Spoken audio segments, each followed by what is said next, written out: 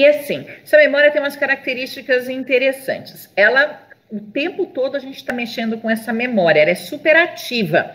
Então, o que, que acontece? A gente vai manipulando as informações enquanto elas chegam. Então, enquanto vocês estão ouvindo a Diana e eu falar, vocês acessam memórias e elementos ou, ou, é, ou coisas que vocês já têm registradas no cérebro. Então, quando eu falo da receita de bolo, talvez venha à sua memória algo que tenha a ver com receita de bolo. Mas se você nunca cozinhou, nunca pegou uma receita de bolo, é claro que você não vai conectar essa informação com nenhuma memória. Então, a memória operacional, ela o tempo todo está checando se a gente tem outras memórias envolvidas com o mesmo assunto. E isso faz com que a gente, o tempo todo, possa manipular, inclusive, as informações.